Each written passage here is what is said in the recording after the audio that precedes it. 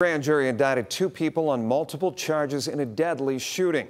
Marquise Brent and Ontrionis Armour, they are accused of killing 44-year-old Joshua Davis and injuring a teen girl. Both men were indicted on a number of charges, including aggravated murder, murder, and attempt to commit murder. Now, police are still looking for 23-year-old Ontrionis Armour. The shooting happened at the intersection of Lake and Elm back on June 13th.